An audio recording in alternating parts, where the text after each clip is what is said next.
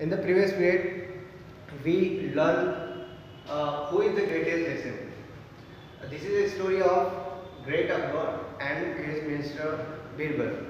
Uh, we saw the first story, and now we are going to uh, learn a second story in this lesson.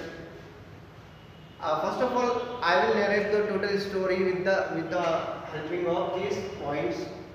Then I will give you the explanation in uh, in the English and Hindi. Then uh, now we will start our second story of Akbar and Birbal. One day, the court was full with the courtiers. Everybody, the courtiers, started praise praise the great Akbar. They compete with each other. They want achieve the favor of great Akbar. They started praising of emperors. Here, you are the greatest ever lived on earth. One of the courtiers said, "You are the greatest." One of the uh, another courtier said that you are the great ever lived on the earth. One of the another courtier said that you are as great as God Almighty. Another courtier said that you are greater than the God Almighty. Akbar ordered to prove. In this point, now Akbar was no fool. He did not care for false praise. He did the courtiers and asked, Do you all believe so? Yes. They answer in one voice. All right. Akbar said, All right. Then prove it to me. Tell me at, at least one thing that I can do, but God Almighty will not able to do. Otherwise, you will all incur and royal displeasure. You have till tomorrow morning it to prove it. Akbar gave the time to the courtiers to prove their praise. Then courtiers thought but could not find. Akbar then left the place without another look at the courtiers. They were in a proper fix. They thought and thought but could not think of any such things. In the end, they went to the Birbal. Now the next point is they went to the Birbal. They could not think, they could not able to prove their praise. So that's why you know they went to the directly Birbals. They thought and thought, they, they could not think any such things. They went to the Birbal. When Birbal heard this story, he told them not to worry. The next morning, the court was full. Everyone was curious to see what would happen next. Akbar was looking for answer. Well, said the Akbar, have you found a good answer to my question? Or are you ready to leave the court forever? Just then Birbal stepped forward and bowed low. Please don't be angry with those who think you are the greatest. Now the Birbal gave to the best reply to the answer to the emperors. Well, just their certainty, he said to the directly uh, to the emperor, please don't be angry with those who think you are the greatest. There is a certainty at least one thing that you can do, but the God Almighty can't.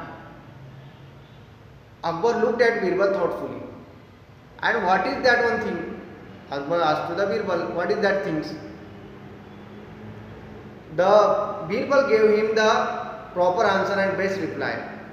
When you want to punish someone, you can banish the, that person. You can throw him out of your kingdom, but God kingdom extend everywhere. The Almighty can't banish anyone from his kingdom. Akbar's face was lit up with a smile. That's very clever, Birbal, while showing how I have an advantage. And at the last of the story, Akbar was pleased with the answer. answers that he forgive that the stupidity of the courtiers.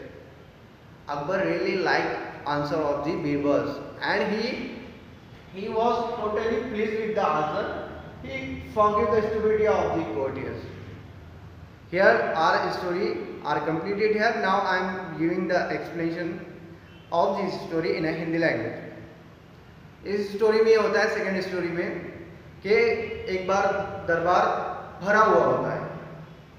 Akbar बादशाह का। सारे दरबारी ये सोचते हैं कि आज मौका है कि हम क्या करते हैं, जो राजा अकबर है उसकी तारीफ़ करते हैं और उसका फेवर हासिल करने की कोशिश करते हैं। तो सारे जो दरबारी है कोटियस वो लग जाते हैं किस चीज़ में? वो लग जाते हैं बादशाह की तारीफ़ करने में। कोई बोलता है कि तुम बहुत अजीम बादशाह हो, फिर दूसरा दरबारी बोलता है कि तुम इतने अजीम हो कि दुनिया में, पूरी दुनिया में तुम्हारे जैसा कोई अजीम बादशाह है ही नहीं। फिर तीसरा बोलता है कि तुम गॉड के जैसे मतलब गॉड जैसा है, जितना पावरफुल हो, उतने ही पावरफुल हो। फिर एक तो हद कर देता है।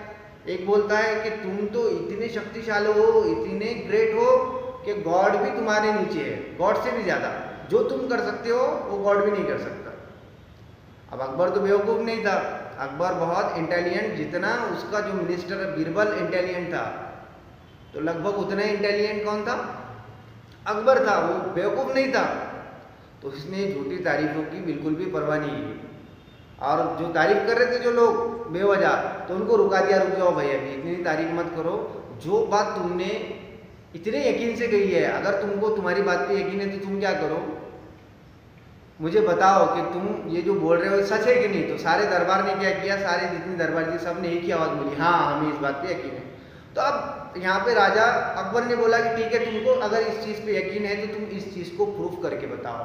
तुम्हारे पास एक दिन का टाइम है, और अगर तुम तुम्हारी बात पे यकीन नहीं रखते हो, और अगर तुम तुम्हारी बात को जस्टिफाई नहीं करते हो प्रूफ नहीं करते हो तो तुमको हम जो ये, हमारे जो दरबार है, दरबार से हम बाहर कर देंगे बैनिश कर देंगे। एक दिन का टाइम है तुम्हारे पास। अब सारे दरबारी सोचने में लग गए कि भाई किस तरह से अपनी बात को जस्टिफाई किया जाए कि तुम यानी अकबर बादशाह एम्पर अकबर गॉड से भी ज़्यादा गॉड वो नहीं, जो गॉड नहीं कर सकता है, वो अकबर कर सकता है। अब कैसे प्रूव करेंगे इस बात को? तो सब सोचने में लग गए। लेकिन किसी को भी इसका जवाब नहीं मिल पाया, कोई भी इस पहेली का हल निकालने में कामयाब नहीं हुआ। तो अब सबको भरोसा था कि बीरबल इसका जवाब दे सकता है तो सब चले गए बीरबल के पास। ठीक है? तो बीरबल ने बोला कि ठीक है, मैं सोचता हूँ इसका जवाब आपको मिल जाएगा, आपको कोई घबराने की ज़रूरत नहीं अब दूसरे दिन दरबार फिर से भरता है। जब दरबार भर जाता है तो अकबर बादशाह ऑर्डर देते हैं कि आप क्या कीजिए, आपने जो मैंने सवाल का जवाब दिया था आपको, जो तारीफ़ की थी, वो सवाल का जवाब आप लाए कि नहीं।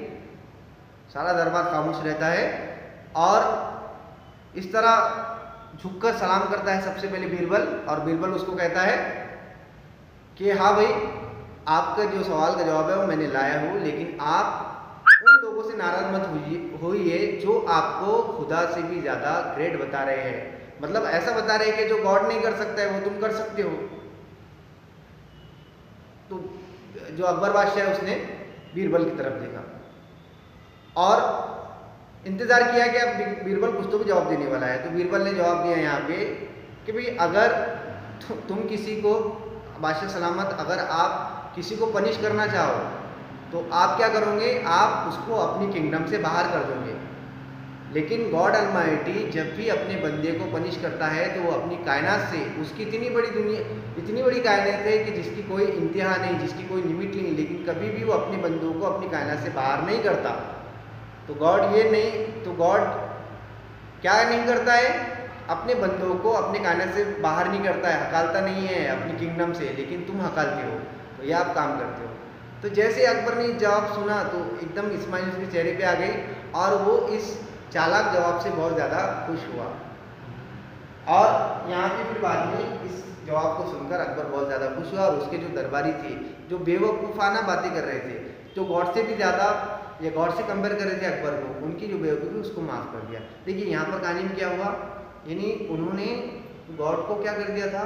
गॉड से भी ज़्यादा अकबर को, अकबर बादशाह को अजीम बता दिया था। हालाँकि सबसे बड़ा बादशाह दुनिया को कौन है? खुदा है। खुदा से बड़ा कोई बादशाह नहीं। लेकिन बादशाह को एक, बादशाह को उन्होंने खुदा से बढ़कर बता दिया।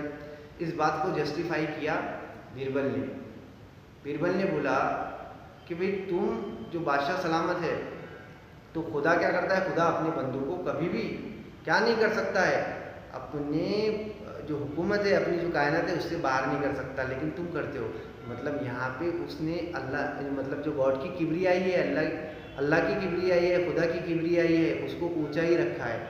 मतलब गॉड को ग्रेट ही बताया है। और जो एक जवाब था कि खुदा जो नहीं कर सकता, वो बादशाह कर सकता है, वो जवाब भी दे दिया। तो मतलब दोनों भी जवाब उसको मिल गए। तो इस तरह से कई कहानियाँ हैं बीरबल और अकबर की, जिसमें बीरबल ने अपनी अकल का इस्तेमाल करके बहुत सारी पहलियों को सुलझाया है। तो इसी तरह हमको भी हमारी लाइफ के अंदर जो पहलियाँ हैं, जो मुश्किल है, इसको अपना दिमाग का, अपना इंटेलेक्चुअल का यूज़ करके उसको सॉल्व करना है। आई होप कि ये कहानी आपको समझ में आई होगी। अगर आपको ये कहानी नहीं समझ में आई होगी तो you can ask me friendly on the WhatsApp group and the comment box. Allah Hafiz.